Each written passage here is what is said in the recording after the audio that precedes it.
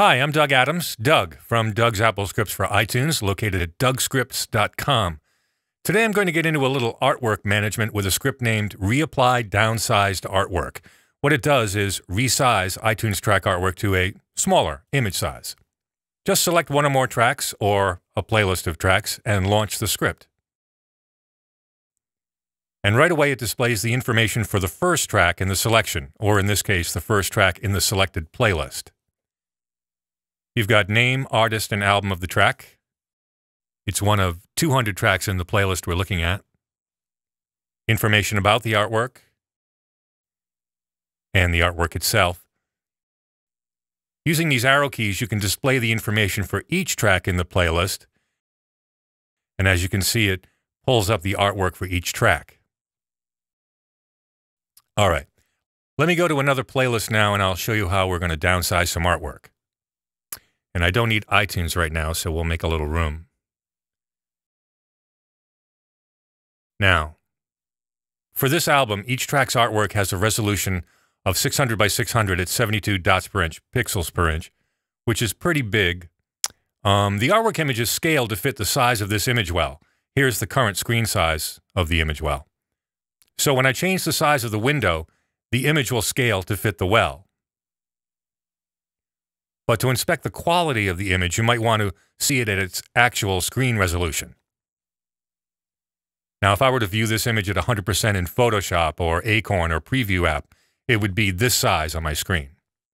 Okay, uh, I want to shrink the artwork of these tracks from 600 by 600 pixels to 300 by 300. So I've entered 300 here now, I'd like to preview the images to see if 300 by 300 provides enough quality.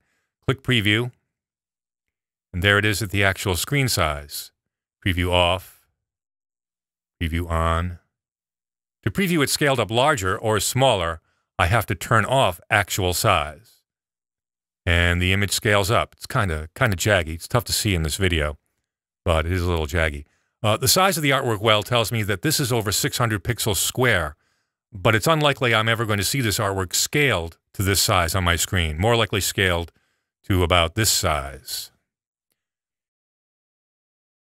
Each track's artwork should look pretty good at 300. They all have the same artwork data, so there's no reason they shouldn't.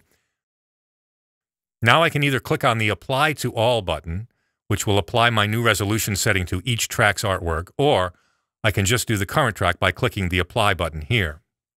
But I'm going to do all of them.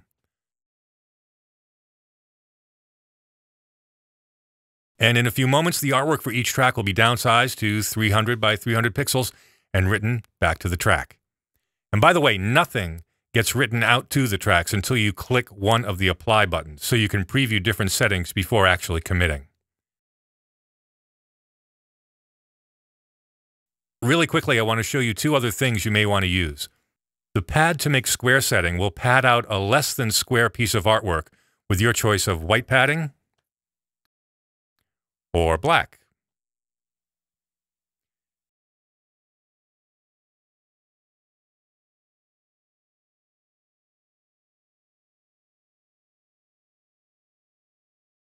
You can export the current displayed image as a file by selecting Save Displayed Image in the File menu. The name of the applet again is Reapply Downsized Artwork. It's free to use, full featured for 10 days, after which it's just $1.99. Thanks for watching. I'm Doug Adams from Doug's AppleScripts for iTunes, dougscripts.com. I'll talk to you next time.